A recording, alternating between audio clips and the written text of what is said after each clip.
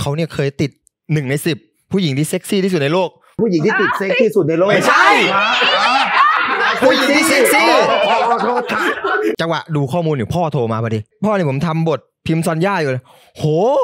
พ่อชอบมากเลยนะ นิตยสารอิมเมจประมาณราคาร้อยร้อยยี่สิบบาทเออพ่อซื้อทุกเล่มเลยนะ แต่ผมได้เงินไปโรงเรียนวันละยี่สิบบาท ผมรู้เลยว่าพ่อรักพิมพ์ซอนย่ามากกว่าผม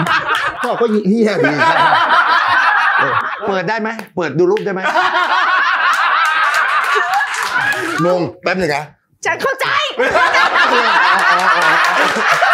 กระซิบว่าอะไรกระซิบว่าอะไรชักว่าวแสดงว่าพ่อซ้อมก่อนมีผมอีกทีนึง